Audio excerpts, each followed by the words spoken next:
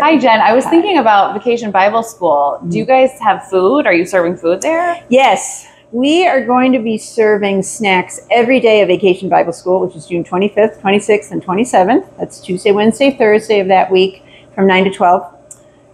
I thought this year, instead of doing um, whatever, pretzels and popsicles, we would have some snacks that are a little more in tune with the time period of Hometown Ah. Nazareth. So I'll probably send out another sign up genius.